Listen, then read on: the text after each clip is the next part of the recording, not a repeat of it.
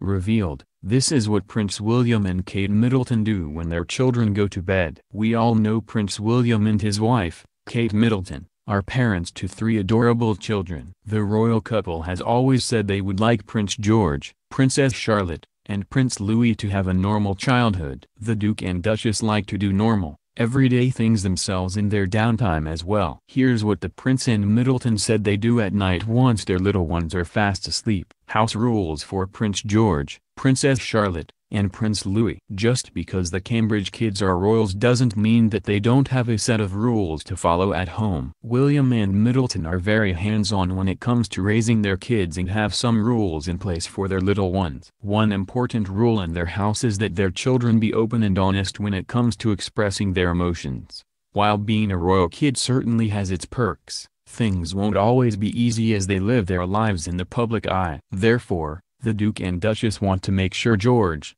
Charlotte, and Louis know to talk to them about how they're feeling. Before Prince Louis was born, William spoke to CALMzine about how he and his wife have already taught their older children about having an open dialogue with them. Catherine and I are clear that we want both George and Charlotte to grow up feeling able to talk about their emotions and feelings, he said. They also have been teaching their kids how to do everyday things around the house like cooking. The Mirror noted that the Duchess of Cambridge has been teaching her children how to make their own food. She decided to start showing them this because they already love helping out in the kitchen and have a had a hand in making homemade pizza and cheesy pasta.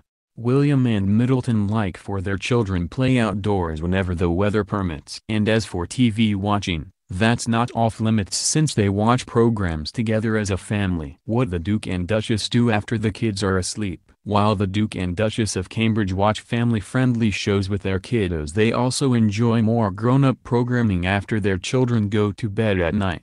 For example, during an interview with BBC's Radio 1 in 2017, the couple explained that watching box sets is their favorite evening activity.